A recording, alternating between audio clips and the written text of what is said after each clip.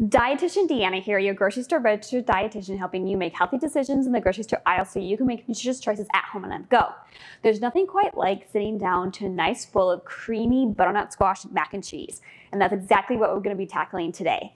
Adding plants to your comfort foods like butternut squash and adding more whole grains, so like whole grain pasta, can really help to decrease the sodium in your dish, increase of vitamins and minerals, and adding plants and increasing fiber can help virtually every diet-related disease. We're gonna start by cooking the butternut squash. And so an easy way to cook butternut squash, and instead of having to fiddle with peeling it and cubing it when it's really hard like this, I just throw it in an Instapot or a crock pot. And you just put about a cup of water, make sure you have your trivet in the Instapot, and try to choose one that's small enough to fit in your crock pot or Instapot.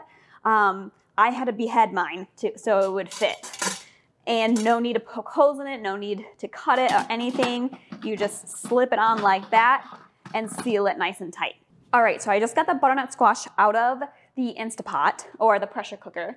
And now I have it cut in half and I'm gonna remove the seeds.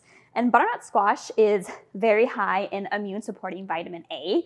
And vitamin A um, really contributes to health of the skin in our mouth, respiratory system, intestines, and stomach. And so also the, the bright color from this butternut squash um, comes from the beta carotene, that bright orange color. So right now I'm just gonna remove the seeds. Okay, so now I put a little bit of our family premium sunflower oil. And I chose this oil because it's a higher heat oil, which means it's great for sauteing because it can withstand higher heat. So I threw in some, about two table, uh, two teaspoons of garlic, um, some thyme, but you can use any type of um, fresh or dried herb like oregano, basil, anything like that. I'm gonna add some shiitake mushrooms to this. And the reason why I chose shiitake mushrooms is because it's one of the few foods uh, that have vitamin D in it. Because usually we get vitamin D from the sun, but when it's during the cold winter months and we can't get a lot of vitamin D, trying to get more vitamin D foods into our diet is a really great thing. And shiitake mushrooms is one of those.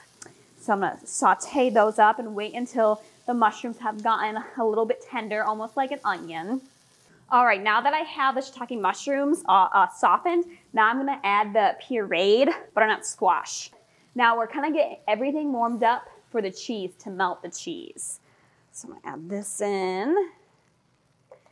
And then I'm going to add about a half cup of almond milk and I'm using full circle um, almond milk just for some added calcium to the dish. And depending on how thick you want the sauce, depends on how much milk you wanna add. You can use regular milk, you can use cashew milk, you can use almond milk. Um, but it's just going to depend on what kind of thickness you want the sauce on. And then after you have it simmering for about 10 minutes, then you're gonna add one cup of our family sharp cheddar cheese and you wanna add it slowly so it doesn't get too clumpy and it uh, dissolves into the butternut squash very nice and evenly. And I just love butternut squash to thicken. You can put this in chili, um, you can put it in any stew, you can make some soup out of it. It's, it's just a great way to really thicken it up. And I actually like butternut squash better pureed than just chunked, so you'll have to try it and let me know. All right, and now time for the noodles. So I use uh, our family um, macaroni noodles, and I actually put uh, cooked this in the Instapot on a one to two ratio of water. So one cup of dry pasta to two cups water.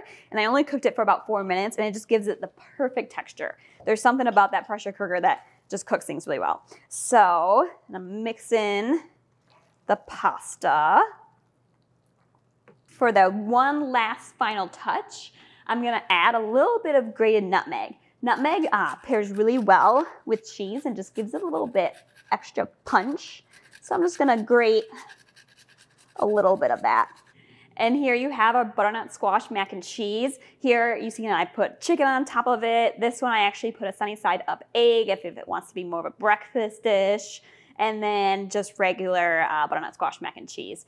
And th this is just, oh, just such a warm, delicious, comforting dish full of immune supporting vitamin A, vitamin D, Um, and if you're interested more in immune health, be sure to check out the blog um, in the comments, and I'll link it below. Thanks again.